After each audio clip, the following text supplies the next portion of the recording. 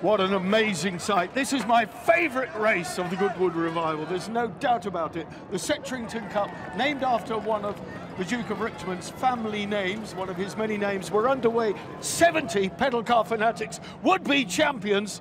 I'm joined by Catie Munnings, who is herself an extreme Formula E. Now, I bet you didn't start in a pedal car. Oh, do you know I did actually? I had a noddy car. That was my first car.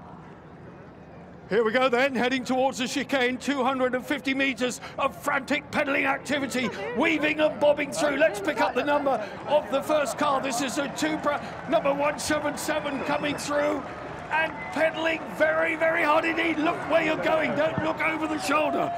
He's checking how far he's got if he needs to use all of his effort. Goodness me, 177's not even in the programme. 62 coming hard.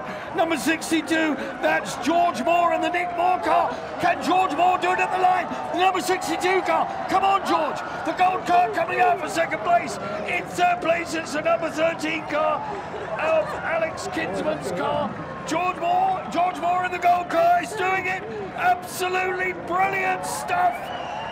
George Moore takes it over the line for victory. Incredible.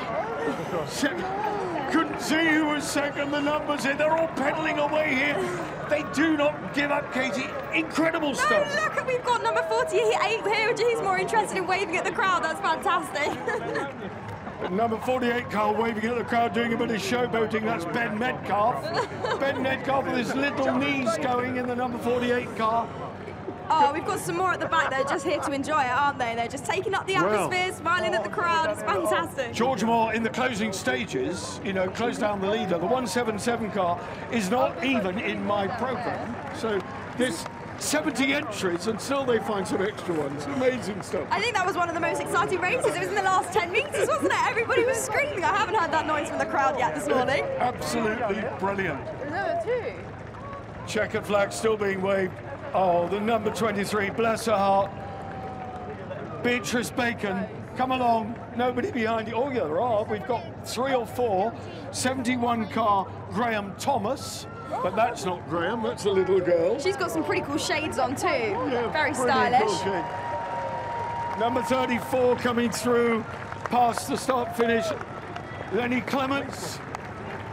Big Oh. round of applause for the, for the course car as well. We've got a little police car closing the course. That's fantastic.